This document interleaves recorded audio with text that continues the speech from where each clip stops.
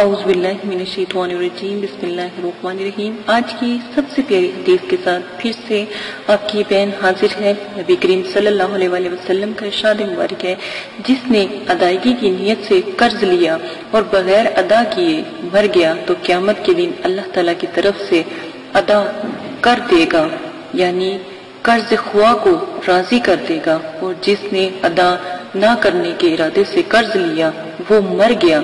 तो क्यामत के दिन अल्लाह ताला इरशाद फरमाएँगे कि तूने ये गुमा किया कि मैं अपने बंदे को किसी दूसरे के हक को दुबाने की वजह से नहीं पकड़ूँगा। बस इसकी तमाम नेकियाँ उससे ले ली जाएँगी और दूसरे को उसकी तमाम नेकियाँ दे दी जाएँगी। और अगर इसके पास नेकियाँ ना होंगी तो उस दूसरे के सारे गुना इसके सर पर डाल दिए जाएँगे।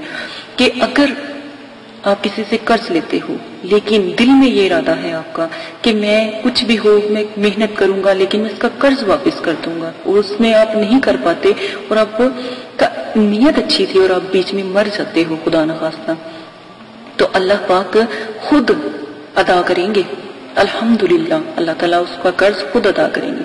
लेकिन कोई इस नीयत से लेता है कि अब मुझे दे दे, लेकिन फिर मैं देखता हूँ इसे और मैं फिर दूँगा भी नहीं। फिर ऐसे में अल्लाह पाक भी पकड़ लेते हैं उस इंसान को, क्योंकि हर किसी की डोर अल्लाह के हाथ में है। हम तो एक, मैं कहती हूँ, हमारी जात, इंसान की जात तो मछली से भी बदतर है।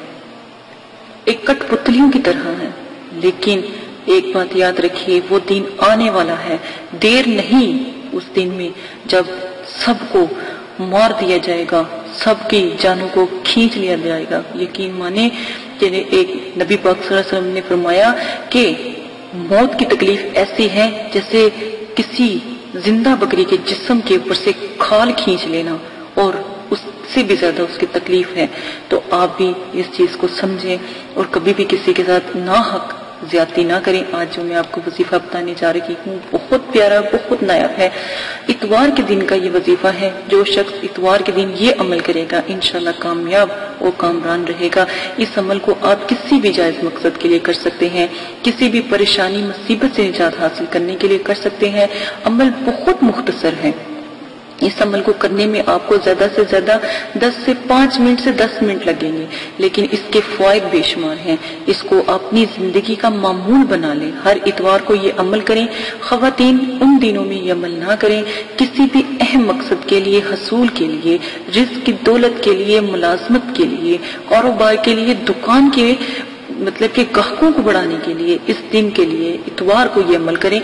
फजर की नमाज़ पढ़ें 360 मरतबा या मुतीन 360 मरतबा या मुतीनू पढ़ें, या मुतीनू पढ़ें।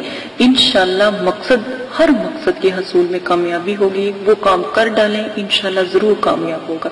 अगर आप सुबह के पढ़ के इतवार को सिर्फ़ अपनी दुकान पे जाके फूक मारते हैं या अपने उस जगह पे, अपने घर में फूक मार देते हैं, दम करते हैं तो अल्हम्दुलिल्लाह अल्हम्दुलिल्लाह, उस घर में इसकी बरकत हमेशा कायम दायम रहती है। और बहुत प्यारा वजीफा है इस बहन को। इजाज़त है अगर कोई बात पसंद नहीं आती तो माफ़ी चाहती हूँ। मैं खुद गुनाहों का पुतला हूँ। मुझे खुद नहीं पता मेरे खुद के गुनाह कितने हैं। बस आप लोगों की इतनी सी दुआ चाहिए कि मेरे हक में थोड़ी सी दुआ किया करें कि शायद मुझे आपकी कि, किसी एक बहन भाई की दुआ जाए इजाज़त दें, अपना ख्याल रखिएगा। अल्लाह हाफिज।